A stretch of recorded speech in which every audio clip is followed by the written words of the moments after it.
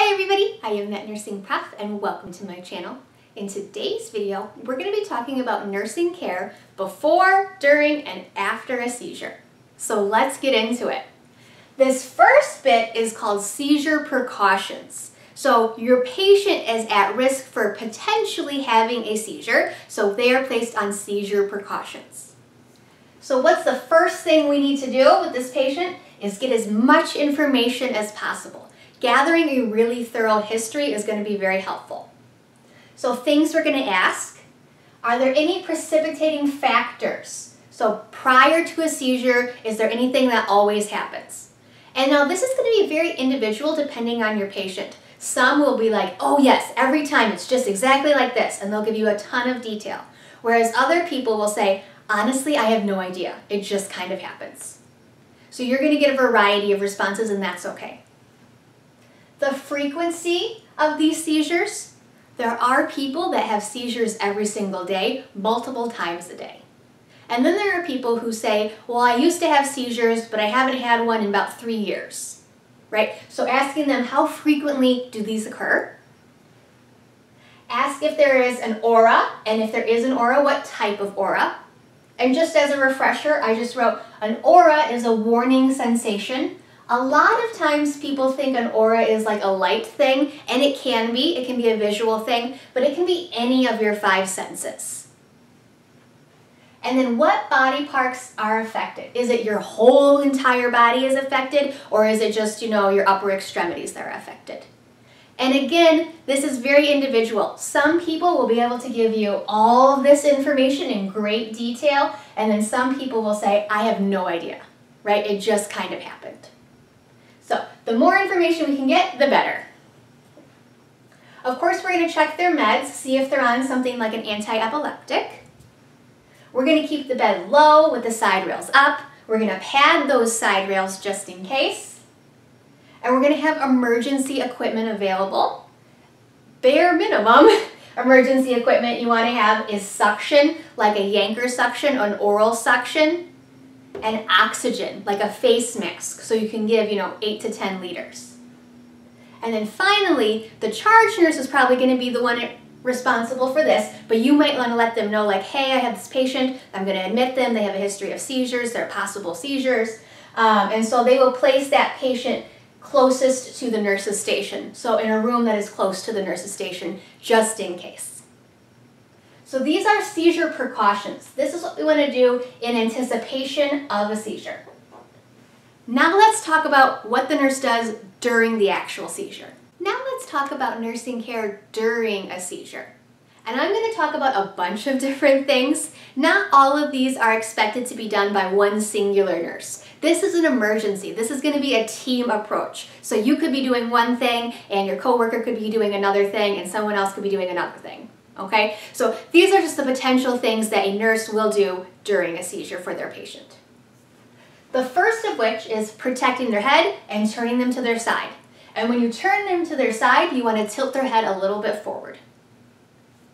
We're never going to lift the patient, so don't pick them up during a seizure.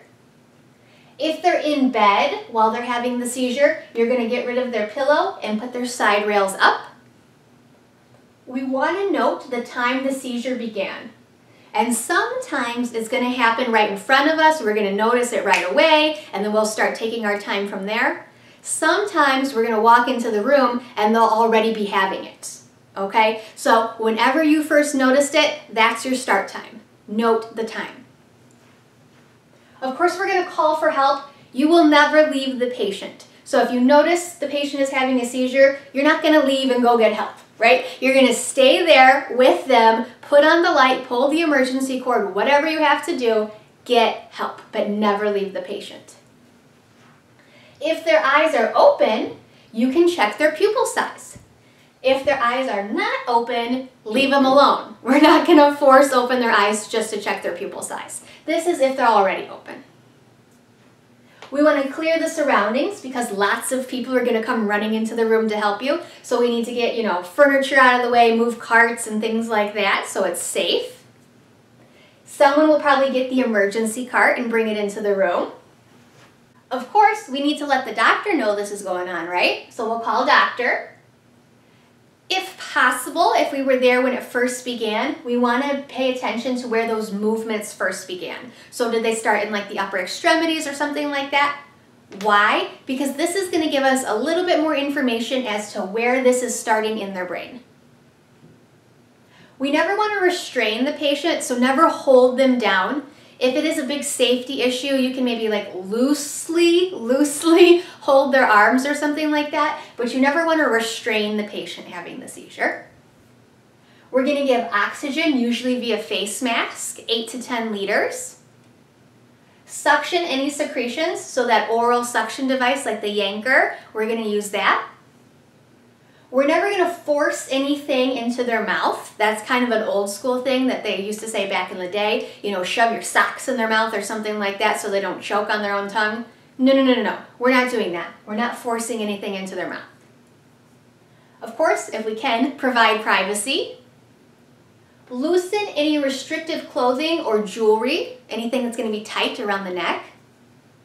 And then note all their behaviors. So a common thing that people note during seizures is lip smacking.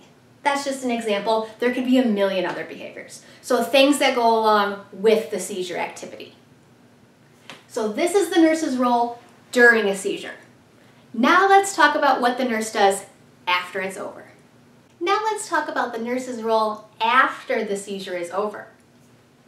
So one of the things we're going to do is we're going to do frequent vitals. So vitals, including O2, every 15 minutes, at least in that initial period. And then later on it'll get spaced out. But right away it's going to be every 15 minutes. Of course we want to make sure our patient has a patent airway. Sometimes the doctor will order a blood sugar check. This is not a standard order. Some will order it, some will not. It kind of all depends on what they think is going on with the patient. So check your orders to make sure that they didn't order a blood glucose check on your patient. Of course, we're going to examine the patient for any injuries that might have occurred. We're going to reorientate them to uh, what's going on because they're going to be out of it. They're probably aren't going to have much recollection of what just happened. They're not going to remember. So you're probably going to say, you know, Mr. Smith, hello, I'm Andrea, I'm your nurse, you're in the hospital, you've just had a seizure, and kind of bring them up to speed. Let them know like, hey, what's going on? Provide time for them to express feelings and concerns. Whether this is their first seizure and they're like terrified, like, oh my God, what just happened? Or this happens to them frequently. It's still scary, right? This is an emergency thing. This is a scary thing that nobody wants to have happen to them. So they're going to be upset about it. They're going to be frightened, maybe anxious. So answering their questions, letting them express their feelings, all of that stuff, being a good support for them is really important. Instruct them to not get out of bed without help, right? Even our young, healthy people, they've just had a seizure, call light. Okay, you need to go to the bathroom? Let me know. I will help you. Don't let them get up right away by themselves.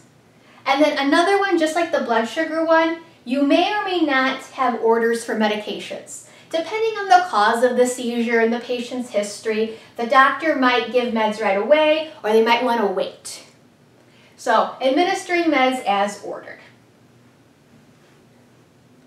So that was my video on the nurse's role before, during, and after a seizure. I hope you found this helpful. Don't forget to like and subscribe. If you have any questions or comments, please let me know. And if not, I'll see you on the next one.